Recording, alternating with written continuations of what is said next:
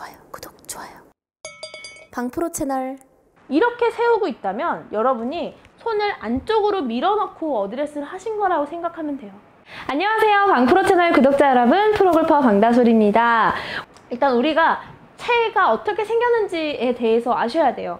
보통 레슨하다 보면은 공은 오른발에 두시고요.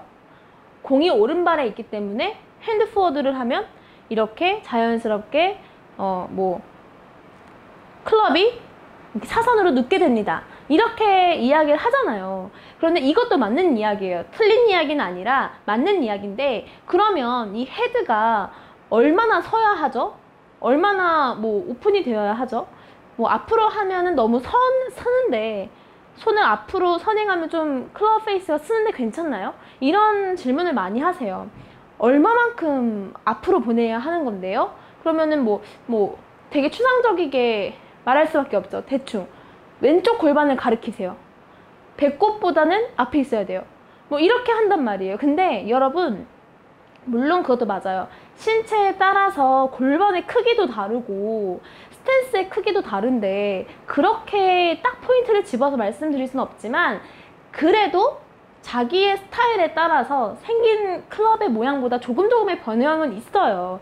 물론 이 쇼게임은 특히 자신의 스타일이 되게 많이 존중받는 파트이기 때문에 이것들이 틀렸다라고 이야기를 할 수 없지만 그래도 이 클럽이 어떻게 생겼는지는 알고 계셔야 돼요. 무슨 이야기냐면 이렇게 클럽을 보잖아요. 그루브 기준 12시 방향이라고 딱 놓고 이 위에서 그루브를 보고 딱 일자로 맞췄을 때요. 이쪽이 leading edge잖아요. 이쪽이 neck이라고 하는 부분이에요. 근데 neck의 왼쪽 방향, 맨 앞에 있는 겉탭 방향이, 겉탭 면이 leading edge보다 더 앞으로 이렇게 선행되어 있어요.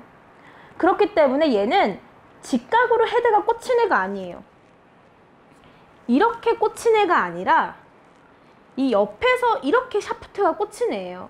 그래서 내가 제대로 놨을 때 이 샤프트가 이렇게 90도로 놓는 게 아니라 이 클럽은 원래 이렇게 되어 있는 클럽이에요.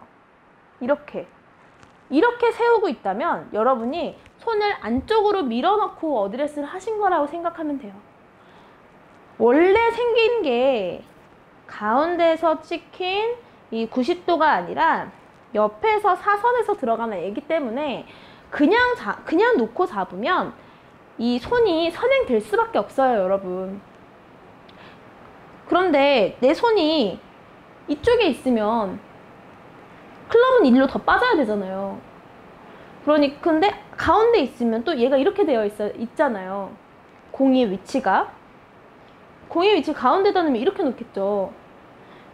내 스윙은 어쨌든 체중의 이동을 줘도 몸은 가운데 있어서 양옆으로 돌아야 되는 이 회전의 폭이 어느 정도 정해져 있단 말이에요. 근데 이 손이 일단 이렇게 앞에 있으면 치기가 어렵겠죠. 그런 것도 있어요. 그렇기 때문에 클럽이 생긴 대로 놓는 생, 클럽을 생긴 대로 놓으려고 설계되어 있는 대로 놓으려고 생각을 하다 보면 자연스럽게 오른쪽 발 앞, 엄지발가락 앞에 부근에 공을 위치를 해 놓는 거를 보실 수가 있어요. 그래서 이 클럽의 설계가 어떻게 되어 있는지를 체크해 보시지 않으면 확인할 수가 없으면 어떤 이유로 우리가 hand forward를 해야 되는지 모르실 수 있어요. 이거는 되게 다양해요. 저도 이게 클럽 전문가가 아니기 때문에 왜 leading edge보다 neck이 앞으로 선행되어 있는지에 대해서 몰라요.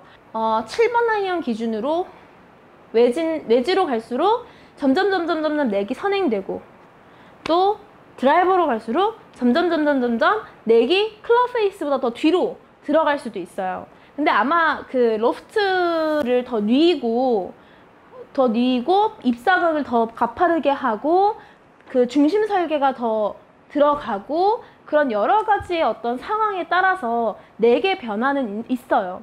그런 정도만 알고 저도 아주 디테일하게 이 과학자가 아니기 때문에 어떤 과학이 숨어 있는지에 대해서는 아주 상세하게는 알려드릴 수 없지만 그 세 개 정도의 요, 그 요소 때문에 이렇게 설계가 되어 있는 거를 말씀드릴 수가 있을 것 같습니다. 베이직을 좀 공고히 하신다면은 이제 나중에 알려드릴 이 어프로치 심화편에서도 분명히 잘 따라 하실 수 있으니까요. 기초부터 탄탄히 다지는 계기를 만들어 보시기 바랍니다. 자, 오늘 제가 준비한 레슨은 여기까지입니다. 저희는 다음 주에, 다음 시간에 어, 샷을 좀 더 배워보도록 할게요. 안녕!